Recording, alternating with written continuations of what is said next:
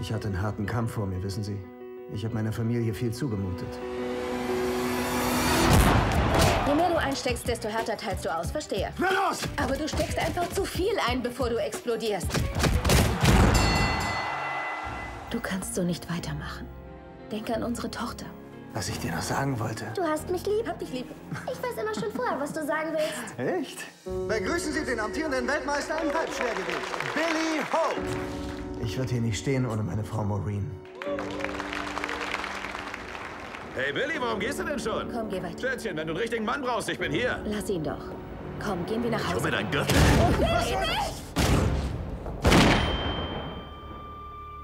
Baby, halt durch, bleib da, sieh mich an. Nein, nein, nein, nein, nein. Nein, nein. Dieses Gericht weiß um das schwere Schicksal, das Ihre Familie getroffen hat, Mr. Hope.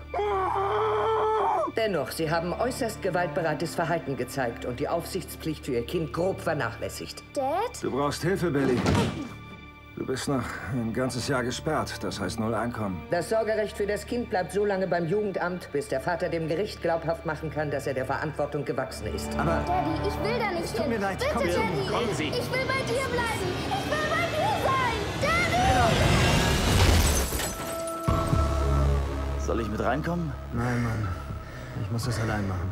Was sucht ein Billy Hope in meinem Gym? Ich brauche einen Job und einen Ort zum Trainieren. Nur wenn du dich an unsere Regeln hältst. Ich will meine Tochter nicht verlieren. Dafür tue ich alles.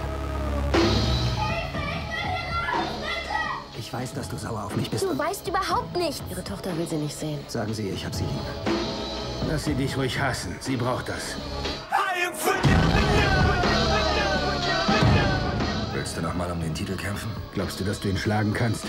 Nicht ohne dich. Ich werde wieder kämpfen.